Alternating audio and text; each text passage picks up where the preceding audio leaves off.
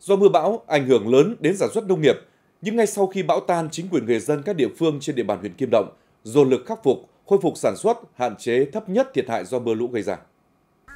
Bão số 3 đã quật đổ hơn 7 mẫu chuối của gia đình ông Cương ở xã Đức Hợp.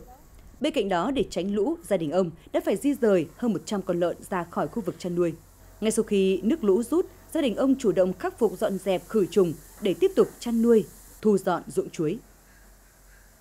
Đất nông nghiệp phải không thể để bỏ hoang được. Gia đình đang thu dọn là để uh, tiếp tục là trồng sen canh bằng bí ngô. Sau lũ gia đình khẩn trương là quay trở lại mang uh, vật nuôi về nhà.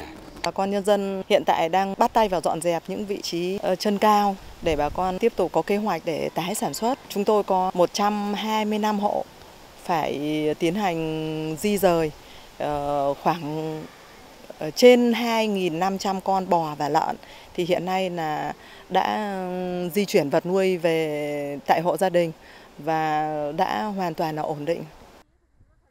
Do lớn, kèm theo mưa kéo dài làm khoảng gần 60 ha diện tích cây trồng như hoa, rau màu, cây ăn quả ở xã Chính Nghĩa bị ngập úng cục bộ, một số diện tích bị thối rễ, dập nát và hỏng hoàn toàn.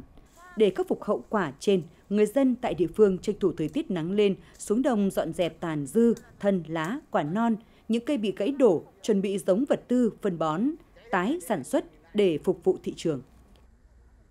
Cây hoa chết ý, thì nhân dân sẽ là dọn dẹp lại sạch sẽ và chuẩn bị cho cây bừa lên lại để trồng hoa để kịp thời bán phục vụ Tết.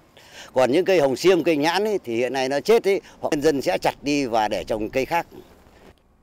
Với sự chủ động của chính quyền, nhân dân huyện Kim Động, những thiệt hại cho nông nghiệp do mưa bão gây ra sẽ được khắc phục với hiệu quả cao nhất, giúp nhân dân sớm ổn định cuộc sống và lao động sản xuất.